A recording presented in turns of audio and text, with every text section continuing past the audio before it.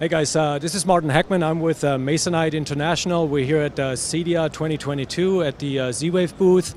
And I'm super excited to talk to you today about the uh, first fully powered and integrated smart doors uh, that Masonite launched and introduced earlier this year at uh, the Consumer Electronics Show.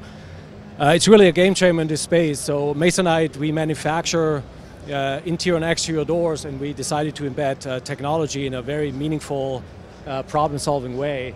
So we have a, a, a, a, smart door lock as well as a smart doorbell integrated, as well as uh, lighting, accent lighting, as well as the uh, overhead lighting. Um, you can see the aesthetic on the smart doorbell it is really, really flush with the door. So beautiful, uh, beautiful addition. If we open the door and really what is the big equalizer, I think, that we're bringing to the space is When you think about the EPT, the electronic power transfer, that is essentially powering the door through the mains connection of the home through the frame. So think of this door as being uh, always on, always connected, always protected, um, you know, essentially powering everything that's already on and inside uh, the door. Um, that means no more replacing batteries for the smart door lock as well as for the smart doorbell or anything else. So a huge, uh, huge opportunity uh, when consumers don't have to don't have to do that anymore.